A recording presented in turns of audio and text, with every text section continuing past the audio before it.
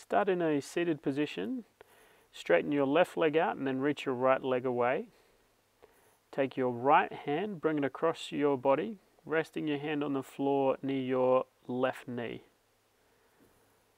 Then staying tall through your spine, pivot over your left hip and reach forward, sliding your hand forwards and backwards on the floor.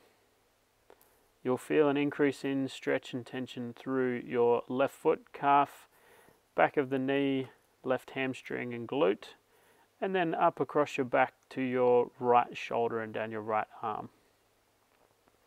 Only move through a range that you feel comfortable with the increase in tension.